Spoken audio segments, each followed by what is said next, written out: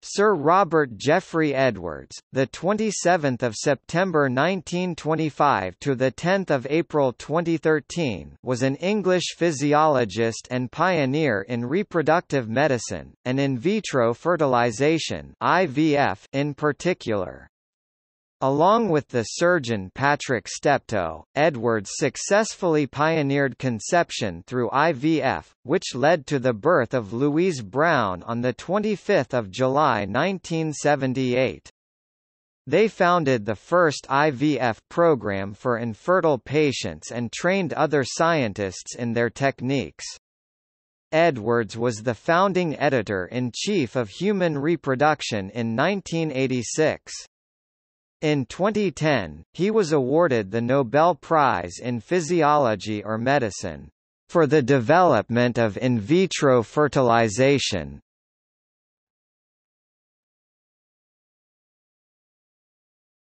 Topic: Education and early career.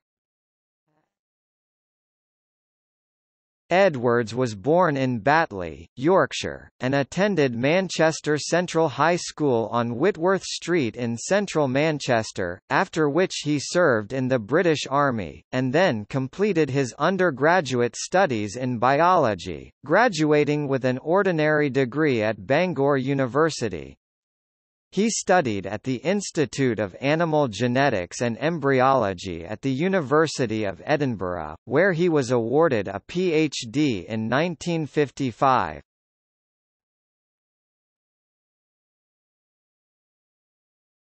Topic: Career and research. After a year as a postdoctoral research fellow at the California Institute of Technology he joined the scientific staff of the National Institute for Medical Research at Mill Hill. After a further year at the University of Glasgow, in 1963 he moved to the University of Cambridge as Ford Foundation Research Fellow at the Department of Physiology, and a member of Churchill College, Cambridge.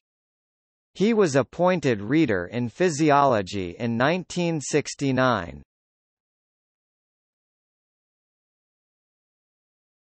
Topic. Human fertilization Circa 1960 Edwards started to study human fertilization, and he continued his work at Cambridge, laying the groundwork for his later success. In 1968 he was able to achieve fertilization of a human egg in the laboratory and started to collaborate with Patrick Steptoe, a gynecologic surgeon from Oldham. Edwards developed human culture media to allow the fertilization and early embryo culture, while Steptoe used laparoscopy to recover ovocytes from patients with tubal infertility. Their attempts met significant hostility and opposition, including a refusal of the Medical Research Council to fund their research and a number of lawsuits.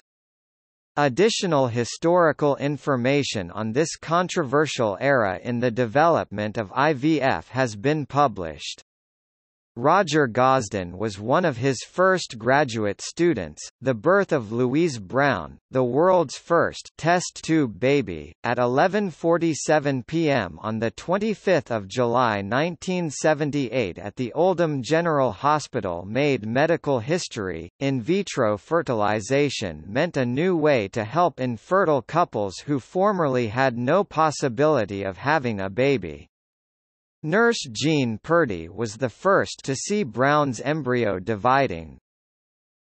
Refinements in technology have increased pregnancy rates and it is estimated that in 2010 about 4 million children have been born by IVF, with approximately 170,000 coming from donated oocyte and embryos.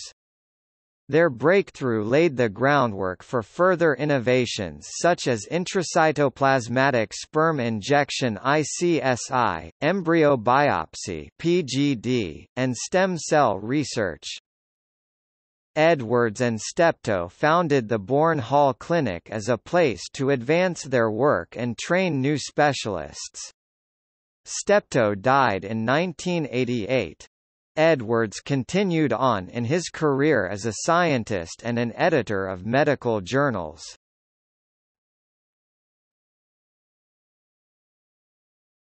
Topic: Honors and awards. Edwards received numerous honors and awards including Edwards was elected as a Fellow of the Royal Society FRS in 1984. In 1994, Dr. Honoris Causa, University of Valencia Spain.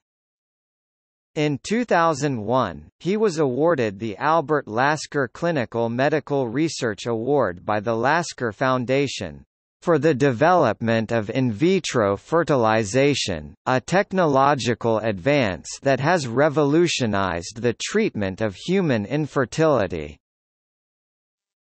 In 2007, he was ranked 26th in the Daily Telegraph's list of 100 greatest living geniuses. In 2007, he was awarded an honorary doctorate from the University of Huddersfield. On 4 October 2010, it was announced that Edwards had been awarded the 2010 Nobel Prize in Physiology or Medicine for the development of in vitro fertilization. The Nobel Committee praised him for advancing treatment of infertility and noted that babies of IVF have similar health statuses to other babies. Goran K. Hansson, secretary of the Nobel Assembly at the Karolinska Institute in Stockholm, announced the news. The first child of IVF Louise Brown described the award as, "...fantastic news." A Vatican official condemned the move as, "...completely out of order."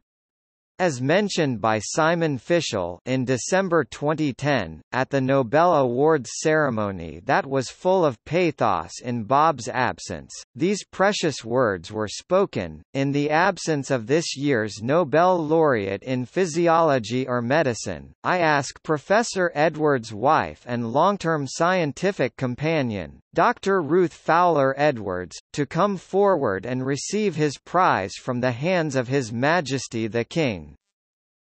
Edwards was knighted in the 2011 birthday honours for services to human reproductive biology.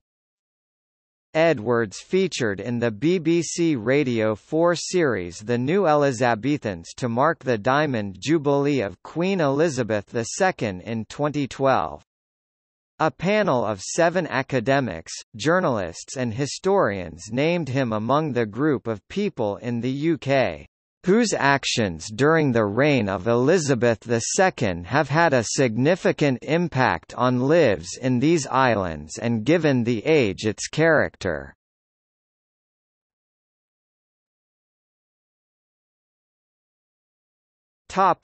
Personal life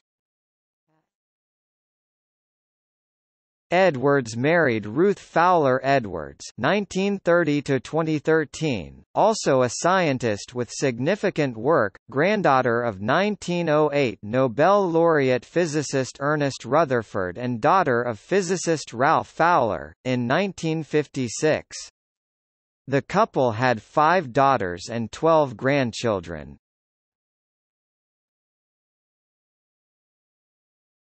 Topic: Death. Edwards died at home near Cambridge, England on 10 April 2013 after a long lung illness. A spokesperson for the University of Cambridge said, "...he will be greatly missed by family, friends and colleagues."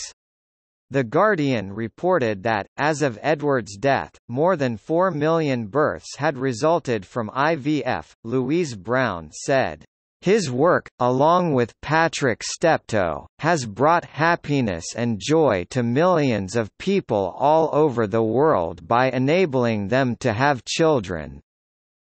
According to the BBC, his work was motivated by his belief that the most important thing in life is having a child. A plaque was unveiled at the Bourne Hall Clinic in July 2013 by Louise Brown and Alistair MacDonald, the world's first IVF baby boy, commemorating Steptoe and Edwards.